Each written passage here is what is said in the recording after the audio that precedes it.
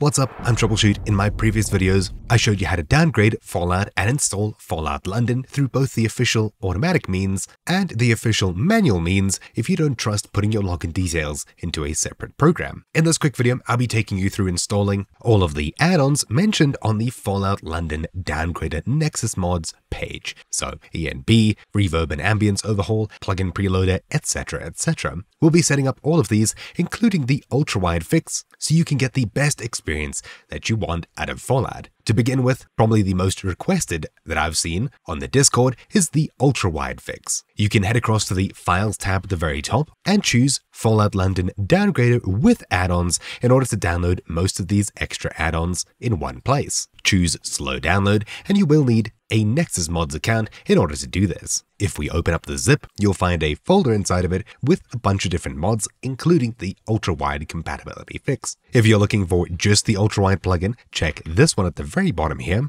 download it, and you should see the same folder as what we have in this pack. I'll be using the pack just for simplicity's sake. I'll start by extracting all of these to a separate folder on my desktop just called mods for now. In the future, when we've installed these mods, we can just delete this folder. As I've already downgraded Fallout 4 and installed the Fallout London mod, I can skip over the downgrader here. If you haven't already done so, you'll find a link in the description down below for two guides on doing that. For all of the mods, we'll need to find our Fallout install folder, so right click it in Steam, choose Manage, and browse local files. If you have the game on the Good Old Games launcher, you'll do a very similar thing there to get to the game's install folder. To install most of these mods, you simply just open them up and drag them to the games folder over here. For example, the ultra-wide compatibility fix, this data.raw file contains a data folder. Extract this and move it across to where your game folder is. We'll be combining these two folders, drop it in an empty spot, and overwrite if necessary. Now, congratulations,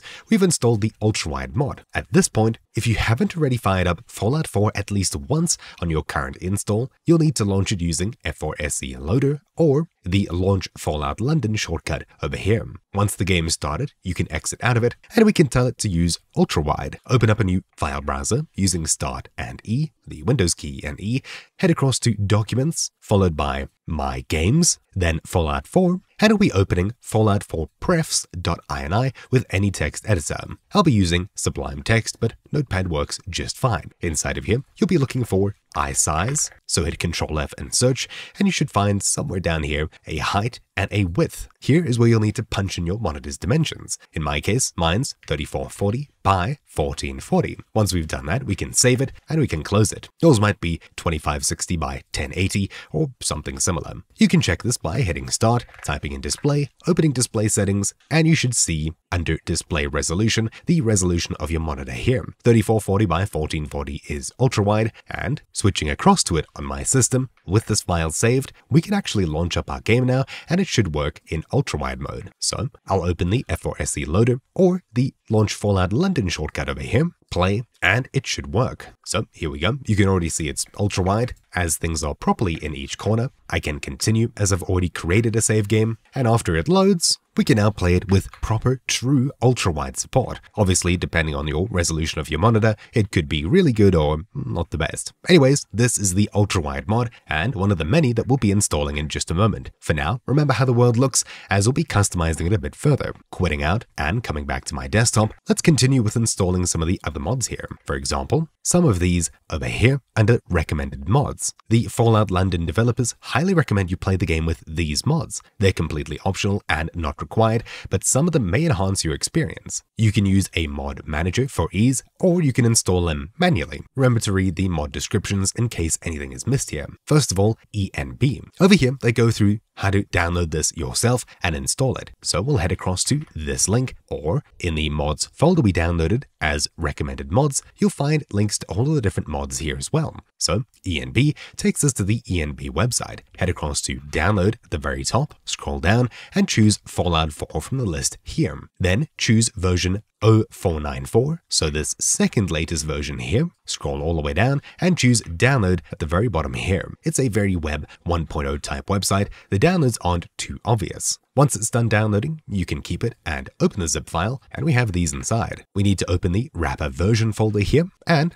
we'll need to extract the contents of this folder into our Fallout 4 root folder where Fallout 4.exe is. Then we can use Shift-Enter in-game to edit its settings, and an ENB preset with some fixes has been included in the Fallout London add-on folder. So we'll move all of these into our game's install folder, which is right here, just like that. Once they've copied, we'll have a look at the mod pack that we downloaded, which has the ENB and reshade over here. These two files will copy and paste into our game's root folder over here, overwriting where necessary, or replacing when necessary. Just like that, we've now successfully installed ENB and reshade. The rest of these mods seem to suggest using a mod manager. The easiest one I can think of is the Nexus Mods mod manager, Vortex. You can find a link to download it down below. We'll download and install it and open it up. Then we can sign in in the top right by clicking this icon, authorize, continue, and, and now we can add Fallout 4. Head to the game section, search for a game, Fallout, and I'll be selecting Fallout 4. Choose manage, then fix when it says mods can't be deployed, next, apply fix, suggest, apply, and then apply over here. That's only really necessary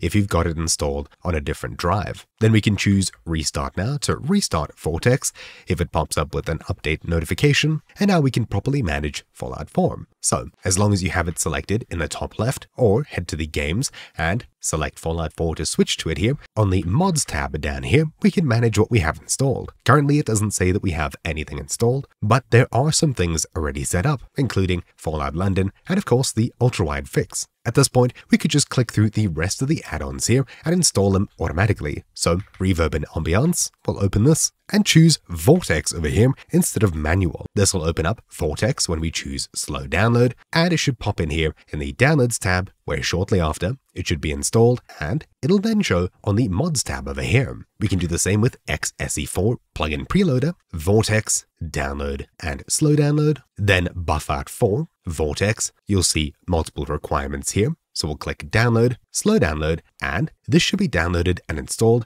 as well as all of the extra requirements for it. However, if you don't see them installed as well, choose Vortex once more and we'll need to install these. We've already got F4SE added by the mod manager and XSE we just installed, so it's only the address library we need. We'll head across to it, Vortex, slow download, and wait for this to finish. Then the Fallout 4 configuration tool. While you can install this with the Nexus Mods tool, the best thing to do is to open this manually, manual download, slow download, save it, and you'll see all of these files. What they suggest doing is renaming our Fallout 4 launch to something else, then using this as Fallout 4 launch, so that when we start the game, it'll give us the option to customize our launch options. It'll give us the option to customize our settings. But as I don't want to do that every launch, I can just extract it to my game install folder and run the Fallout 4 configuration tool where we can customize thousands of options for the game. This gets super in depth, as well as tweaks, performance, camera, texture details, the UI, gameplay, audio, and settings over here. For the most part, maybe performance is what you want to play around with, and the tweaks tab here, but as my resolution's already set, there's not much else I need to do. Then, the enhanced blood textures, as well as workshop rearranged, place everywhere, sim settlements or sim settlements 2, I'll choose the latter, classic holstered weapons, see-through scopes, vanilla extensions, and the master plan can all be installed using Vortex. So I'll choose Vortex and download for each of these. The Sim Settlements 2 requires HUD Framework and Workshop Framework. We will be downloading in just a moment, and HUD Framework will need to do as well. So we'll slow download HUD Framework as well, as well as Workshop Framework, classic holstered weapons, see-through scopes, vanilla extensions, which requires the master plan as well. So we'll install this and the master plan, and that's really about it. We've already done ENB and Reshade, and we've also installed the Ultrawide mod. With that, we've now installed all of the suggested mods by the developers. If you'd like to launch the game with Creation Kit, you can install the stripped ESM launcher or the hexed ESM launcher, and you can choose to follow these steps if you wish to do something like that. These will be available in the pack that we downloaded earlier as stripped ESM and hexed ESM. For now though, I'll leave both of those behind and have a look at what Fallout 4 looks like with all of these extra mods installed. Well, as soon as they finish that is. During the installation, you may get a pop-up like this. See-through scopes, I'll leave it as is. I don't think we need to customize anything here. We'll choose patches, this should be fine. Finish, and we'll wait for the rest of these to install. Now that they're all done, the mods tab should be updated with everything here. Then, quickly before launching, check the plugins tab on the far left and make sure that all of the extra mods are enabled here. After you've ticked all of these, everything should be turned on and working properly. If you'd like to see the load order, you can head across to C uses your username, app data local, Fallout 4, and you'll find a plugins.txt file. Every mod in here with a star before it is enabled, and each of these are loaded in this order.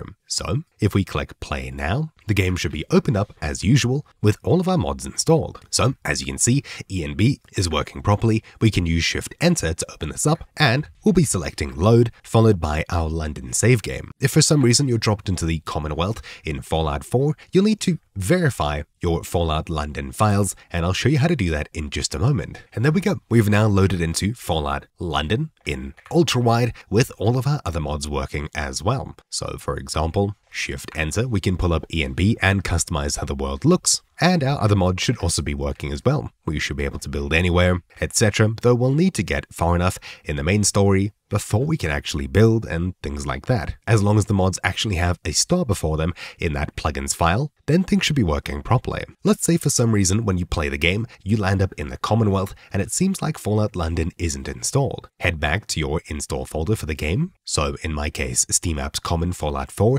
and in here you'll need to find Launch Fallout London, a shortcut to the installer files that we got earlier, either through GOG Galaxy or through manually installing it. Opening this, you'll see this pop up, choose Update, and then choose Install to verify or replace your Fallout London files, making sure everything works properly. If you deleted those installation files, you'll need to re-download them and open up the installer from there to get it to work properly. Once you've installed here, you should be able to launch up the game using Nexus Mods Vortex, and things should be working properly. On top of this, in the plugin section here, you can see the very bottom that London World Space and London World Space ESM are both loaded over here, meaning the total conversion mod has successfully been set up and installed. Anyways, hopefully you found this video useful. Thank you all for watching. My name's been TroubleChute, and I'll see you all next time. Ciao.